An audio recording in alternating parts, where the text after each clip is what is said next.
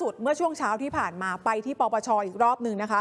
ไปเพื่อที่จะยื่นฟ้องคณะพนักงานสืบสวน ชุดทำคดีทั้ง BNK Master แล้วก็คดีของมินนี่ด้วย แล้วบิ๊กโจ๊กบอกว่าที่มาในวันนี้เป็นแค่ระดับเทียสองเท่านั้นเองอ่าเทียสองโอ้โหยังมีนัยยะอะไรมากมายเลยนะคะ เราไปติดตามรายละเอียดจากคุณอโนไทยสกุลทอง รายงานสดมาจากปปชค่ะ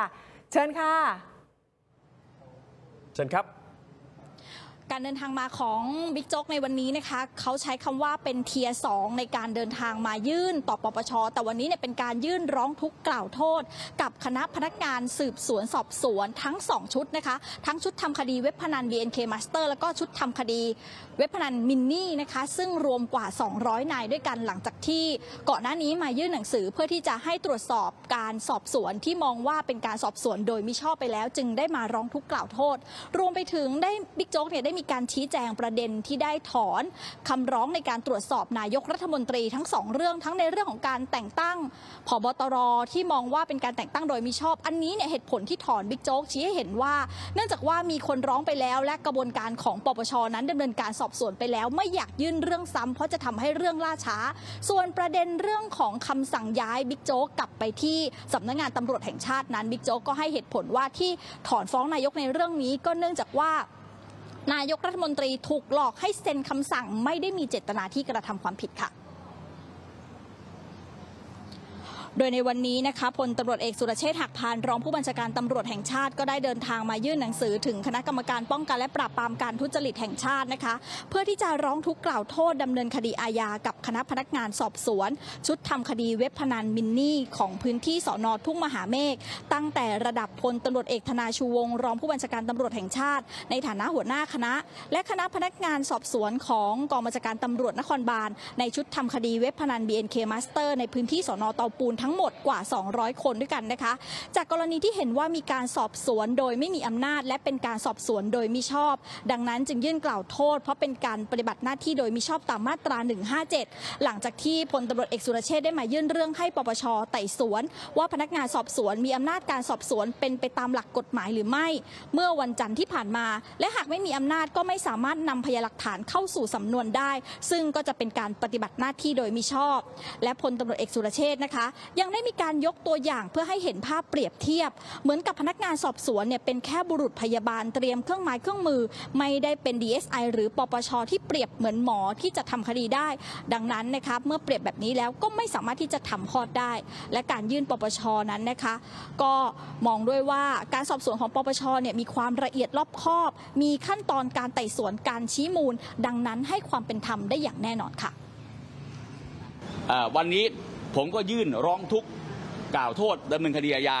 นะตั้งแต่เอ่อพลตำรวจเอกธนาชูวงศ์นะรองผบตรที่เป็นหัวหน้าคณะภาพสวนทั้งหมดนะจนถึง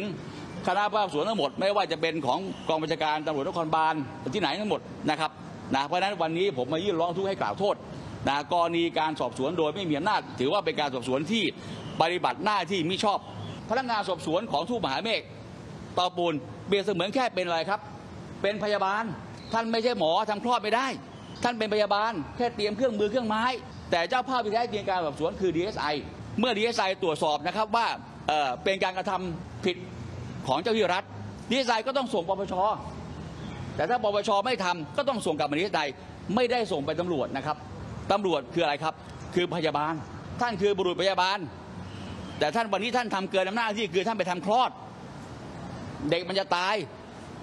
นะและตัวท่านจะตายด้วย คือผมก็ต้องต่อสู้เพื่อตัวเองนะครับนะวันนี้มีประชาชนอีกเยอะนะครับที่ให้กำลังใจผม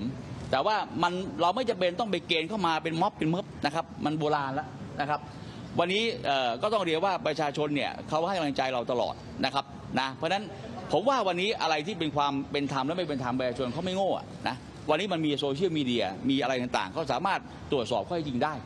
นะครับนะเพราะฉะนั้นวันนี้เสิ่งสำคัญคือเราต้องยึดหลักกฎหมาย หลักกฎหมายมันมีอยู่หลักหลักเดียวอะนะ ส่วนกรณีที่พลตำรวจเอกสุรเชษฐ์ถอนคำร้องที่ยื่นให้ตรวจสอบนายกรัฐมนตรีไปสองเรื่องเมื่อวันที่ 22 เมษายนนั้นนะคะพลตำรวจเอกสุรเชษฐ์เนี่ยชี้แจงทีละเรื่องนะคะ เรื่องแรกก็คือถอนเรื่องของการตรวจสอบ กรณีการแต่งตั้งผบตร เพราะพลตำรวจเอกสุรเชษฐ์มองว่าคำร้องนี้เนี่ยมีการยื่นไปแล้วโดยพลตำรวจเอกเสรีพิสุทธิ์เตมียเวทและปปชนั้นก็รับเรื่องสอบสวนไปไกลแล้วนะคะ จึงไม่อยากยื่นซ้ำเพราะจะทำให้กระบวนการล่าช้า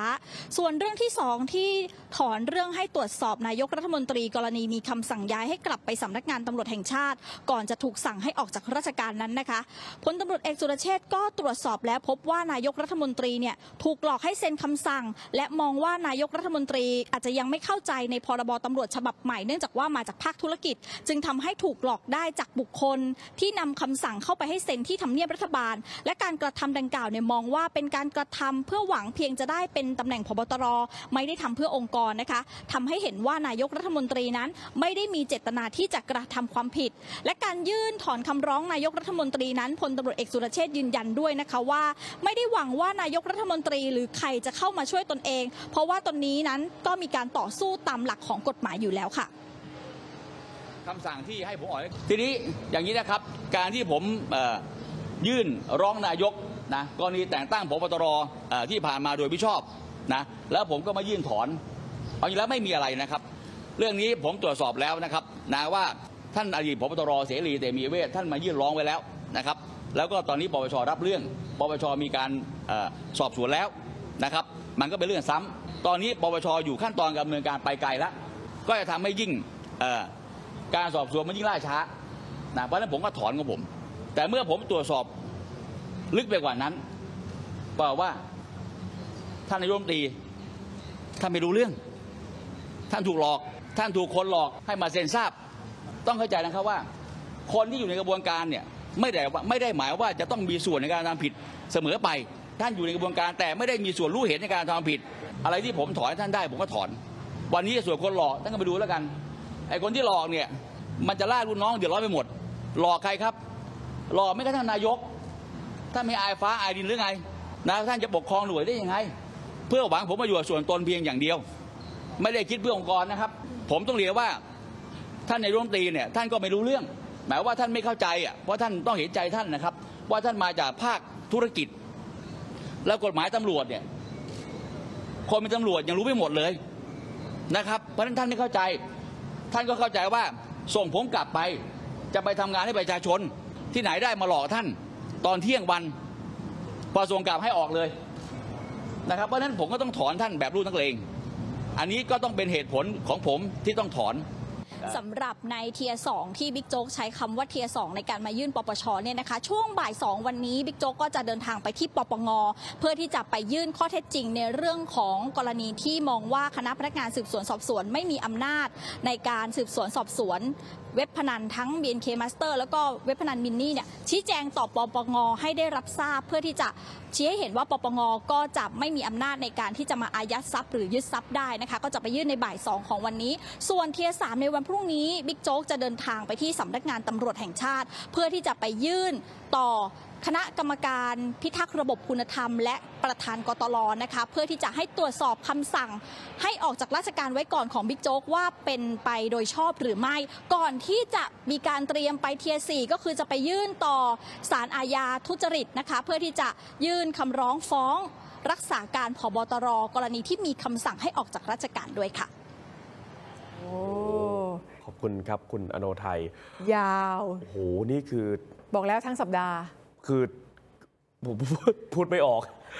คือใครเอาคำสั่งไปให้นายกเซ็นค่ะเออ แล้วทำแบบนี้จะปกครองกันได้ยังไงอ่าฮะถ้าใช้คำนี้คือแปลว่าต้องเป็นผู้บังคับบัญชา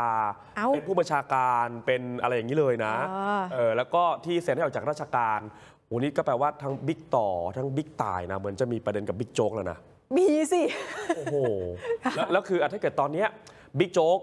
ชื่อชื่อบิ๊กโจ๊กเนี่ยเขาเอาออกจากในหน้าเว็บไซต์แล้วนะ แล้วในข่าวก็คือค่ะบอกว่าอะหน้าห้องทำงานแกก็เอาถูกเอาเอาป้ายชื่อออกไปแล้วชื่อออกแล้วจากรองผบตร